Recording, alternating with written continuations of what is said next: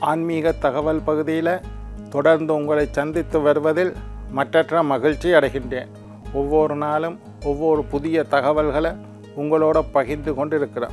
அந்த வகையில் இன்றைய தினம் ஒரு அருமையான தகவலை உங்களோட பகிர்ந்து கொள்ளலாம் என்று காத்திருக்கிறேன். அக்னி நட்சத்திரம் கத்திரி காலம் காண்டாவனம் என்று எல்லாம் பல பேரில் உழைக்கிறது. இன்றைக்கு அக்னி நாள் ஆரம்பம் அக்னி நட்சத்திரம்னு சொல்லுவோம். அதாவது சித்திரை மாதத்தில் கிட்டத்தட்ட இருபத்தஞ்சி இருபத்தி ஆறு நாட்கள் அக்னி நட்சத்திரம் என்று சொல்லக்கூடிய நிலைமை காணப்படும். அதை கத்திரி காலம் நாங்கள் சொல்கிறது காண்டாவனம்னு சொல்கிறது காண்டாவன காலம் சொல்கிறது அக்னி நாள் ஆரம்பம் என்றும் சொல்கிறது இந்த முறை நான்காம் தேதியில் இருந்து இன்றைக்கு அக்னி நட்சத்திரம் ஆரம்பம். இண்டையில் இருந்து இருபத்தி எட்டாம் தேதி ஐந்தாம் மாதம் வரை அதாவது நாலாம் தேதி அஞ்சாம் மாதத்தில் இருந்து இருபத்தி எட்டாம் தேதி ஐந்தாம் மாதம் வரை அக்னி நட்சத்திரம் நடந்து வருகின்றது. அக்னி நாள். இதை பற்றி நான் ரெண்டு மூன்று வருஷம் தொடர்ந்து இப்போ மூன்று வருஷமாக செஞ்சு கொண்டிருக்கிறேன். தொடர்ந்து நான் இந்த அக்னி நட்சத்திரத்தில் என்ன செய்யலாம் என்ன செய்யக்கூடாது அது அக்னி நட்சத்திரம்ன்றா என்ன இந்த மாதிரி விஷயங்கள் எல்லாம் நாங்கள் பார்த்து கொண்டு வரோம் உங்களுக்கு தெரியும் அக்னி நட்சத்திரம் என்றால் வெப்பமாக இருக்கும்ன்றது முதலாவது விஷயம். இந்த இருபத்தி ஆறு இருபத்தி ஏழு நாட்களும் மிகவும் சூரியன் அதிகமான வெப்பத்தை கொடுக்கிறார். சூரியனுடைய வெயில் தாங்க முடியாமல் இருக்கும். கத்திரிக்கால வெயில்னு சொல்கிறது தாங்க முடியாத வெப்பத்தை சூரியன் கொடுப்பார். சூரியன் உச்சம் அடைந்திருக்கிறார் எப்பவும் பன்னெண்டு ராசியில் மேச ராசிக்கு சூரியன் வாரதைத்தான் நாங்கள் சித்திரை வருஷப்பிறப்புன்னு சொல்கிறோம் அங்கே அஸ்வினி நட்சத்திரம் போய் பரணி நட்சத்திரத்தில் சூரியன் வரைக்கல சூரியன் உச்சமாக இருக்கின்றார். சூரியன் உச்சமாக இருந்தால் சூரியன் அக்னி புறம்பை கக்கி கொண்டிருப்பார். அதனால் வெக்கையான காலமாக இருக்குது. சூரியன் பரணி நட்சத்திரத்திலையும் கார்த்திகை நட்சத்திரத்திலையும் ரோகிணி நட்சத்திரம் இரண்டாவது பாதம் வரை உள்ள நாட்களை அக்னி நாட்கள் என்று நாங்கள் சொல்கிறோம் அதைத்தான் அக்னி நட்சத்திரம்னு சொல்கிறது காண்டாவனம் கத்திரிகாலம் அக்னி நாள்னு சொல்கிறோம் சூரியன் பரணி கார்த்திகை ரோகிணி இரண்டாம் பாதம் வரை வரக்கூடிய நாள். மேசத்தில் சூரியன் உச்சமாக இருக்கின்றால் அதனாலேயும் வெயில் அதிகமாக இருக்கும். மேசம் யாரிட ராசி என்றால் உங்களுக்கு தெரியும் செவ்வாயினுடைய ராசி மேகம். செவ்வாயே அக்னிக்கு அதிபதி செவ்வாய் பகவான். செவ்வாயே சூட்டை தரக்கூடிய கிரகம். அங்கேயே சூரியனும் வந்து இருக்குது. ரெட்டிப்பான சூடு. இதனால தான் சூரியன் வந்திருந்தாலும் பரவாயில்ல சூரியன் உச்சமடைகின்றார் மேசத்தில். மேசம் செவ்வாயிர நாட்கள். அதனால் சூரியனுடைய வெப்பம் அதிகமாக காணப்படும். இது விஞ்ஞான ரீதியான விளக்கம். மேசத்தில் சூரியன் உச்சமடைகின்றார். அதனால தான் அன்றைக்கு சித்தர்கள் அங்கே சூரியன் உச்சம் என்று தீர்மானித்திருக்கின்றார்கள். இது விஞ்ஞான ரீதியான விளக்கம். அக்னி நட்சத்திர காலங்களில் என்னென்ன செய்யக்கூடாது என்கிறத பற்றி பார்ப்போம். முதலாவது அக்னி நட்சத்திரம் இருக்கக்கூடிய காலங்களில் மரங்களை வெட்டக்கூடாது. மரத்தை அக்னி நட்சத்திரத்தில் மரத்தை வெட்டினால் பாபம் என்று தர்மசாஸ்திரத்தில் சொல்லப்பட்டு இருக்குது சித்தர்கள் வழிமுறையில் சொல்லப்பட்ட விஷயம். அதனால் எந்த காரணம் கொண்டும் இந்த அக்னி நட்சத்திரம் இருக்கக்கூடிய இந்த இருபத்தைந்து இருபத்தி ஆறு நாட்கள்லேயும் மரங்களை வெட்டக்கூடாது. வீடு கட்டுவதற்கு ஆரம்பிக்கக்கூடாது. வீடு கட்ட தொடங்கக்கூடாது. வீட்டுக்கு அத்திவாரம் வைக்கக்கூடாது கிரக ஆரம்பம் செய்யக்கூடாது கிரக பிரவேசம் வேணுமெண்டா செய்யலாம் வீட்டு குடி போகலாம் வீடு கட்ட தொடங்கக்கூடாது என்ற அக்னி அக்னி காலத்தில் வீடு கட்டக்கூடாதுன்னு சாஸ்திரம் சொல்லியிருக்குது. வீடு வாங்கக்கூடாது நிலம் வாங்கக்கூடாது. அது மாதிரி கிணறு தோண்டக்கூடாது. அக்னி நட்சத்திரம் இருக்கக்கூடிய அந்த வெப்பமான காலத்தில் கிணறு தோண்டுவதற்கு அனுமதி இல்லை. யாராவது கிடங்கு கிணறு தோன்றதா இருந்தால் இந்த அக்னி நட்சத்திர காலத்தில் கிணறு தோண்டக்கூடாது. விதை விதைக்க கூடாது ஏதாவது விவசாயம் செய்கிறதுக்காக அது அந்த காலத்திலேருந்தே தெரிஞ்சு வந்த ஒன்று தான் விதை விதைக்கக்கூடாது. கிரகப்பிரவேசம் செய்யக்கூடாது. அதாவது கிரக ஆரம்பம் வீடு கட்ட தொடங்கக்கூடாது. நான் முதலே சொல்லிட்டேன்.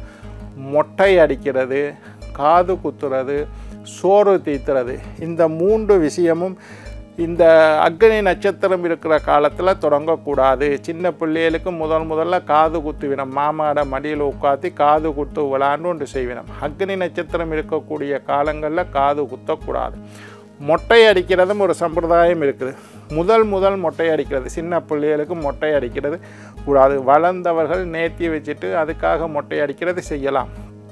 பொதுவாக தவிர்க்கிறது நல்லது. இப்போ நாங்கள் சொல்கிறது மொட்டை அடிக்கக்கூடாது காது குத்தக்கூடாது சோறு தீத்துறது. பிள்ளைக்கு முதல் முதல்ல சோறு தீத்துறதும் இந்த அக்கனி நட்சத்திரத்தில் கூடாது. தீட்சை எடுக்கக்கூடாது. தீய இச்சைகளை அகற்றுவது தீட்சை என்று பேர். தீட்சை என்ற என்னென்ன தீய இச்சைகளை அகற்று கெட்ட ஆசைகளை நிவர்த்தி செய்கிறது தீட்சை. அந்த சிவ தீட்சை எடுக்கிறது போன்ற தீட்சை எடுக்கிற விஷயத்தையும் இந்த அக்னி நட்சத்திர காலங்களில் செய்யக்கூடாது. புதியதோர் பலத்தினை அனுபவித்திருங்கள் கிஸ்ட் ரைட் கூரை மேயக்கூடாது இருக்கிற கூரையை கலட்டிட்டு புதுசாக கூரை மேயக்கூடாது கூரை மேய்கிறது மட்டுமில்லை ஓடு முகடு ஓட கலட்டக்கூடாது ஓடு மாற்றுறது சீட்டு மாற்றுறது கூரை வேய்கிறது கூரை பகுதியில் ரிப்பேர் வேலை செய்கிறது இதெல்லாம் அக்னி நட்சத்திரத்தில் செய்யக்கூடாது. வாகனம் வாங்கக்கூடாது. புதுசாக ஒரு வாகனத்தை வாங்க போகிறேன் ஐயா. இருக்கிற வாகனத்தை விற்றுட்டு வேறொரு வாகனம் வாங்க போகிறேன் முதல் முதலாக புதுசாக வாங்க போகிறேன் வாகனம் வாங்கக்கூடாது. வீடு வாங்கவும் கூடாது வாகனம் வாங்கவும் கூடாது. கும்பாபிஷேகங்கள் செய்யக்கூடாது. கோயிலில் புனருத்தாரணம் செய்து கும்பாபிஷேகங்கள். கும்பாபிஷேகம்னா தெரியும். குடமுழுக்கு நீராட்டு விழான்னு சொல்லுது குடமுழுக்கு அந்த கும்பாபிஷேகங்கள் செய்யக்கூடாது. அது ஒரு விஷயத்தில் இருக்குது. தானம் செய்வதற்கு உகந்த மாதம். என்ன செய்யக்கூடாதுன்னு பார்த்துட்டிங்களா ஐயா. என்ன செய்ய வேண்டும்? இந்த கார்த்திகை அதாவது இந்த அக்னி நட்சத்திர காலத்தில் நாங்கள் எதை செய்யலாம்னு பார்த்தீங்கன்னா தான தர்மம் செய்வதற்கு உகந்த நாட்கள் இந்த அக்னி நட்சத்திர நாட்கள். இந்த அக்னி நட்சத்திரம் நடக்கக்கூடிய நாட்களில் நிறைய தான தர்மங்கள் செய்தால் மற்ற நாட்களில் செய்த தான தர்மத்தை விட அதிகமான புண்ணியம் கிடைக்கும். என்ன தானம் செய்யலாம்? உணவு தானமாக கொடுக்கலாம்.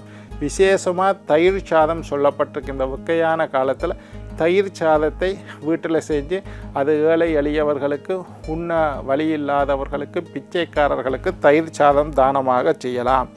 உடை தானமாக கொடுக்கலாம். நீர்த்தானம் தண்ணி போத்தலை கொஞ்சம் வாங்கி வச்சு இதெல்லாம் போகிற வர வழியில் சிம்பிளாக செய்யக்கூடிய விஷயங்கள். தானம் செய்ய வேணும்ன்ற எண்ணம் தான் உங்களுக்கு இருக்கும் ஒரு பத்து தண்ணி போத்தலை வாங்குங்கோ ரோட்டில் பிச்சை எடுத்துக்கொண்டு இருக்கக்கூடிய ஒரு பத்து பேருக்கு பத்து தண்ணி போத்தலை வாங்கி கொடுத்துடுவாங்க அவன் அந்த தண்ணியை கொடுப்பான். தண்ணியை வரணும் ஒன்றும் செய்ய இயலாது. அவனுக்கு எப்பயோ உண்டைக்கு இல்லாட்டி நாளைக்கு அல்லது நாலண்டைக்கு தாகம் வரைக்குள்ள அந்த தண்ணியை குடிப்பான். ஒரு பிச்சைக்காரன் தாகத்தோடு இருப்பான். தண்ணி குடிக்க எங்களை மாதிரி நினைச்சோன்னு அவனுக்கு ஃப்ரிட்ஜை திறந்து எடுத்து குடிக்க முடியாது. அதனால் தண்ணீர் போத்தல்களை வாங்கி தானம் செய்யுங்கள். இதெல்லாம் சுலபமானது. தண்ணி தானம் செய்யணும்னு ஐயா நான் போய் தண்ணி பந்தல் அமைச்சு அங்கே உட்காந்து அதுகளை செய்யணும்னு அவசியமே இல்லை. கூட வாகனத்தில் ஒரு பத்து தண்ணி போத்தலை வாங்கி போடுங்க. போகிற வர வழியில் பிச்சைக்காரனுக்கு ஒரு பத்து தண்ணி போத்தலை கொடுத்துட்டு வாங்க. நீர் தாகம் எப்போ செய்யணும்? இந்த அக்னி நட்சத்திரம் இருக்கக்கூடிய காலங்கள் அதாவது நாலாம் தேதியிலிருந்து இருபத்தி எட்டாம் தேதி வரைக்கும் அக்னி நாள் காண்டாவன காலம் கத்திரி காலம் இந்த காலத்தில் செய்யலாம். அதே மாதிரி வீட்டில் கொஞ்சம் அரிசியை போட்டு தயிர் சாதம் செய்யுங்கோ. சின்ன சின்ன பார்சலாக பத்து பார்சல் கட்டி வச்சுக்கொள்ளுங்கோ. போகிற வழியில் அவங்களுக்கு நீங்கள் கொடுத்துட்டு வரலாம். பிச்சைக்காரர்களுக்கு தானமாக கொடுக்கலாம். அதே நேரத்தில் விசிறி குடை போன்ற பொருட்கள் வெயில் அதிகமாக இருக்கிறதுனால விசுக்கிறதுக்கு விசியையும் விசுக்கியையும் குடை அல்லது ஒரு தொப்பி வெயிலிருந்து தன்னை காப்பாற்றுவதற்காக ஒரு தொப்பி தானம் செய்யலாம். அல்லது குடைகளை வாங்கி பிச்சைக்காரருக்கு கொடுத்த அவன் குடையை பிடிச்சி கொண்டு இங்கே ஒரு மூலையில் இருப்பான். அவனுக்கு குடை வாங்குற அளவு வசதி இருக்காது. அவன் பிச்சைக்காரன். அவனுக்கு ஒரு குடையை வாங்கி கொடுங்கோ விசிறியை வாங்கி கொடுங்கோ. நோயாளர்களுக்கு இளநீர் தானம் செய்வது மிகச்சிறந்தது. இதுவும் பத்து இளநியை வாங்கி பிச்சைக்காரனுக்கு கொடுத்துட்டு போகலாம். நோயாளர்களாக இருக்கக்கூடியவர்களுக்கு இளநீர் தானம் செய்வது மிகச்சிறந்தது இந்த வெயிலில் இளநீர் வாங்கி கொடுக்க இளநீர் வந்து தானம் செய்வதற்கு அற்புதமான பொருள். அதுவும் நோயாளர்களாக இருந்து அவர்கள் பிச்சைக்காரர்களாக இருந்தால் இளநீரை வாங்கி நல்லா வெட்டி போட்டு கொடுத்தா அவன் குத்தி குடிச்சு கொள்வான் இளநீர் தானம் செய்வது நல்லது. கால் அணிகள் தானம் செய்யலாம். செருப்பு நான் எப்பவும் சொல்வது சனீஸ்வரனுடைய கோளாறு இருந்தால் உங்களுடைய ஜாதகத்தில் சனி தோஷம் தரக்கூடிய கிரகமாக இருந்தால் சனி மறைந்திருந்தால் அல்லது சனி நீசப்பட்டிருந்தால் அல்லது சனியினுடைய திசை பத்தொன்பது வருஷம் நடந்தால் அல்லது சனி புத்தி நடந்தால் காலணி செருப்பு தானம் செய்வது மிகச் சிறந்தது. எனவே காலணிகளை தானமாக கொடுக்கலாம். தொப்பி சொல்லிட்டேன் குடை சொல்லிட்டேன் தானமாக கொடுக்கலாம். துர்க்கை அம்பாளுக்கு சந்தன காப்பு சாத்துவது. துர்க்கை அம்பாளுக்கு சந்தனத்தினால் அபிஷேகம் செய்வது மாரியம்மனுக்கு பால் அபிஷேகம் செய்வது மாரியம்மனுக்கு இளநீரால் அபிஷேகம் செய்வது மாரியம்மனுக்கு வேப்பம் இலைகளினால் குளிர்விப்பது இது எல்லாம் மிகவும் சிறந்த விஷயமாக காணப்படுது. மாரியம்மன் அல்லது துர்க்கை அம்பாளை விசேஷம் என்ன? அக்னி நட்சத்திரத்தில் துர்க்கை அம்பாளுக்கு சந்தன அபிஷேகம் செய்வது ரொம்ப விசேஷம். இதுவும் அம்பாளை குளிர்விக்கிறது. சந்தன காப்புன்னு சொல்லுவோம். சந்தனத்தை அரைச்சி அம்பாளுக்கு அழகாக சந்தன காப்பு சாத்துவார்கள். அந்த மாதிரி சந்தன காப்பு சாத்துறதும் ரொம்ப விசேஷம். மாரியம் அதனால தான் இந்த சித்திரன் காலத்தில் மாரியம்மனுக்கு கூழ் ஊற்றுறதுன்னு சொல்கிறது கஞ்சி காய்ச்சி ஊற்றுறது கூழ் ஊற்றி வரக்கூடிய அடியார்களுக்கு எல்லாம் கொடுக்குறது வேப்பமலையை வீட்டில் கட்டி வைக்கிறது. இந்த வெயில் காலத்தில் நிறைய நோய்கள் பரவக்கூடிய அபாவ அபாயம் இருக்குது அதனால தான் விஞ்ஞான ரீதியாக யோசித்து அந்த காலத்தில் சித்தர்கள் இந்த சித்திரை மாதம் அக்னி நட்சத்திரம் வந்தால் வீட்டு வாசலில் வேப்பமிலையை கட்டி தொங்க விடுங்கள் என்று சொல்வார்கள். அம்பாளுக்கு வேப்பமிலையால் அர்ச்சனை பண்ணினாலோ அம்பாளுக்கு வேப்பமிலையை சாத்தினாலோ அதெல்லாம் பிச்சு உங்களுக்கு தருவாங்க. அதை கொண்டு வந்து நீங்கள் வீட்டு வாசலில் கட்டுவீங்க. தீய அசுத்தமான காற்று வீட்டுக்குள்ளே வராது. நோய் நொடிகள் வராது. கிருமிகள் பரவுவதை தவிர்க்கும். என்ன நேர்களே இன்றைய தினம் அக்னி நட்சத்திரத்தை பற்றி அக்னி நாளாரம்பத்தை பற்றி விஞ்ஞான ரீதியான விளக்கத்தையும் எங்களுடைய சித்தர்கள் ஏன் கிணறு கொண்டக்கூடாதுன்னா ஏன் வீடு கட்டக்கூடாதுன்னா அது சரியான வெயிலான காலம். அந்த வெயிலான காலத்தில் வீடு கட்டுறதுக்குன்னு நாலஞ்சு மேசன்மா இருந்து வேலை செய்ய முடியாது. அவ்வளவு வக்கையாக இருக்கும். அதனால தான் அந்த மாதிரி காரியங்களை செய்ய வேண்டாம் என்றார்கள். வெயில் அதிகமாக இருக்கக்குள்ள மரத்தை வெட்டக்கூடாது. வெட்டினா உங்களுக்கு நிழல் வராது. அதனால தான் அந்த மாதிரி வேலைகளை எங்களுடைய தத்துவங்கள் எல்லாத்துக்கும் விஞ்ஞான ரீதியான விளக்கமும் உண்டு.